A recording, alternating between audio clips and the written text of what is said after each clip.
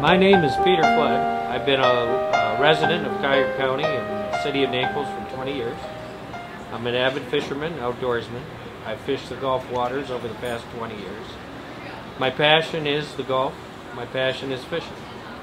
After 20 years of living here and fishing, I've noticed that the current reef structures were beginning to fail. We have great volunteers between the city of Naples, Marco Island, and uh, the county. We've gotten together and over the past year and a half we have commenced a program between the private and public sector to engage in placing 36 new artificial reefs out in the Gulf of Mexico. It's just been a treat to work with the people. They're dedicated. We're making it happen.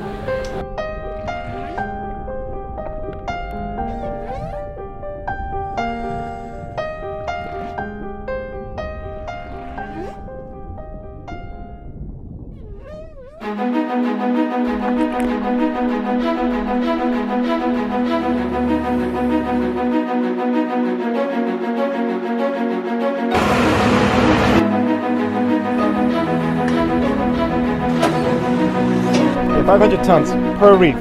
So we're talking about 18,000 tons we need to complete this project. Spaces like this that they can hide in.